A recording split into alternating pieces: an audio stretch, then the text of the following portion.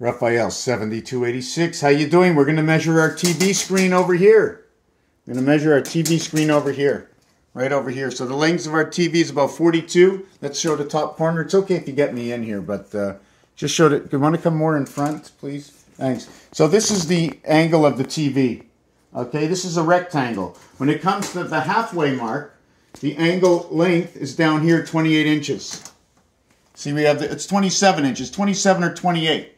Okay, I have to figure out how to do that because my point should be up here. Where is my center? Okay, so it's either 20, it's 28. We can see it's 28. Show that 28. It's 28.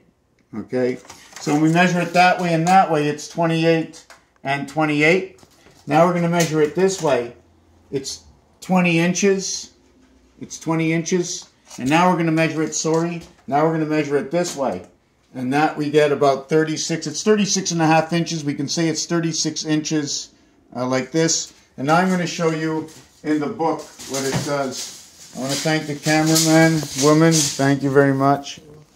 Okay, so now in the book, this is more or less of Union Jack of how I created the design and what happens where this comes out in my rectangle. I, don't, I have to re redo this design a few times because you notice the one, two, one, two, three, four, five, six. The center is actually over here. Center is here. And then to measure from this point to that point, so where is this center? What's happening over here? Here's my real center, but the measuring of this. So let's do it again. One, two, three, four, five, six. One, two, three, four, five, six, seven, eight. Is it a six by eight triangle? Is it a six by eight triangle or is it a six by ten triangle? I'm going to have to just give me a second. I'm not sure the size of a real triangle, if it's two to one or three by two, but I know if you have two triangles, you have to overlap them. So we're going to go six, and then over here, uh, we're going to go overlap six and six. So we're going to go six, and then the other part's going to be four. One, two, three, four, five, six. Here's the sixth part. Now the next part, because it's going to overlap, it's going to be one, one, two, three, four, five, six. Okay, here. Now the next, we're going to go back up this one. It's going to be five by six. Now we're going to go one, two, three, four, five, six, and we're going to go here. Because I want to overlap to create my rectangle. And this would make the uh, flag-like. So when I overlap to make the triangle, I end up at one, two, three, four. One, two, three, four. It should be one, two, three, four. One, two, three, four. One, two, three. Four, three, four to create the center. I'm just getting a roundabout. Now I take from my TV and I create that. Now for the center of my TV, okay, it's this whole line over here. So I really don't want to create that design.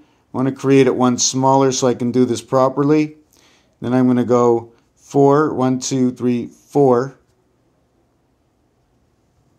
And then here's the center line. So my center line will go from here to here.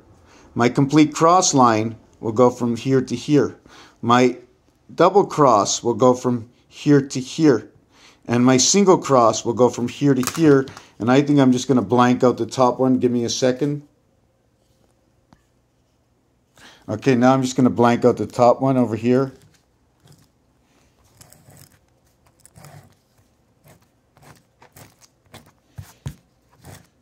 Okay, I just want to redo the bottom one here. Sort of like my Union Jack. And I'm doing this to measure my TV. And this line over here, okay, this line over here, when I cross it this way,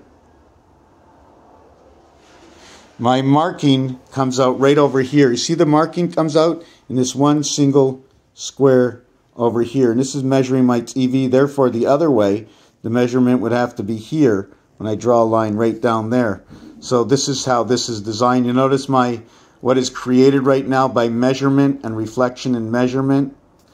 And um, so this is this is on an angle. This is not this is not your 45 degree angle. This is an angle in between. Your only 45 degree angle uh, should be inside the square. I'm not finished doing this as others.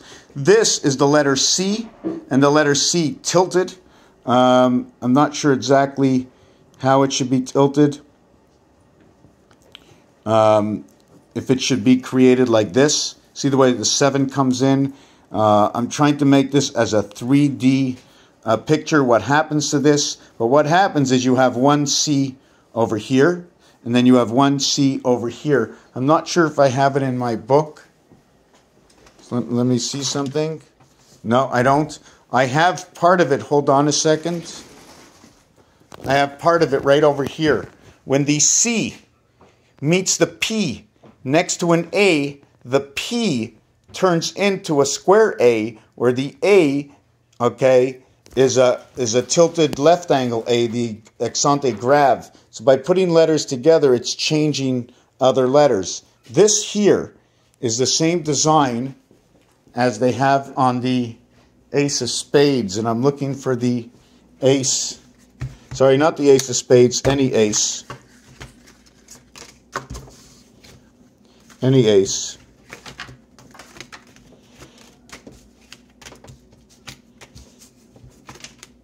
Here's the ace. See the bottom of that ace, that, that, that this piece over here, down here? So when you design that,